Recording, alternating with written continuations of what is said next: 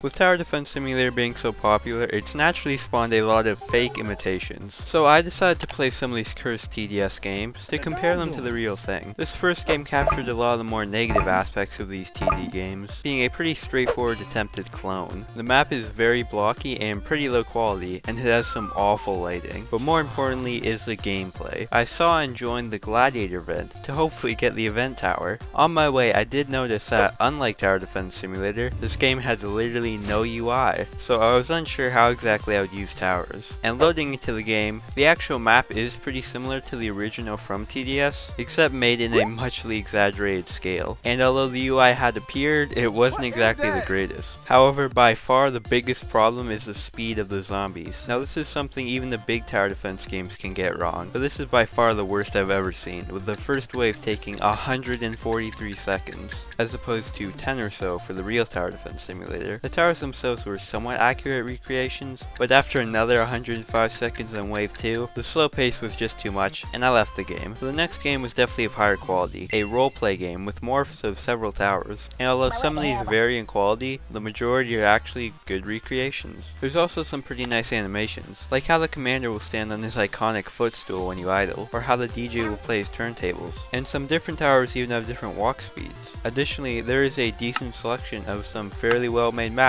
although they're not very accurate to TDS. However, there is one problem here, as since this is a roleplay game, the gameplay here is pretty much non-existent, with the focus being more on the social aspect. But for what it is, I think it does have some very good recreations of the TDS towers. And although that was surprisingly good, things took an immediate turn. This game has no lobby and just sends you straight in. The map is incredibly basic, with only a simple path and a few low poly structures. But the real draw is the towers, as you get a total of 14, including some very rare towers, such as the removed sentry, the dev-only war machine, and the rarest tower in the game in Commando. But there is a slight problem in the placement, as when moving the tower, it falls to pieces. You can also place towers literally anywhere, including on the path itself and on cliffs. The towers themselves function fine, and the UI is outdated but serves its purpose. The game also has 60 waves, something which hasn't been seen in TDS since the Mega Update in 2019. And the game also features several removed enemies, such as the 24 4 carats and the golden titan, and I actually ended up losing on wave 60, where instead of restarting, you are kicked from the game so the server can regenerate. But what if in TDS, you didn't just place towers,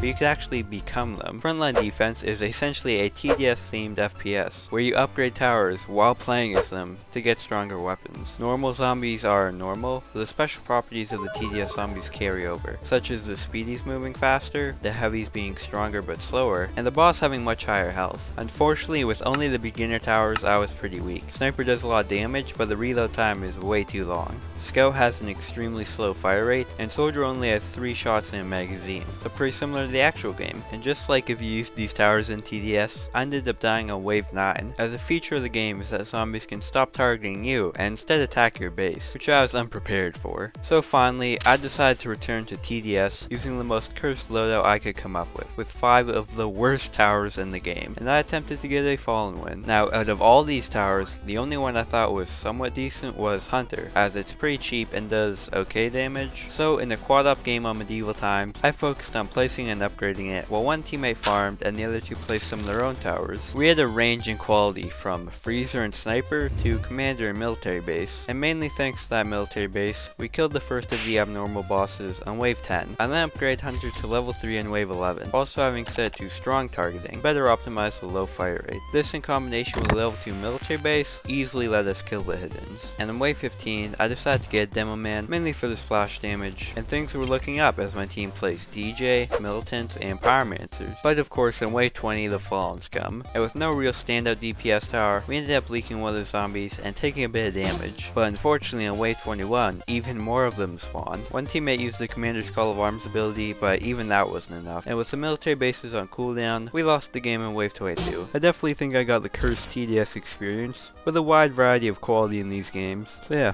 consider subscribing.